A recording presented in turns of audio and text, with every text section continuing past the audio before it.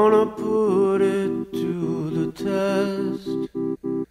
You wanted it to be blessed, and in your heart.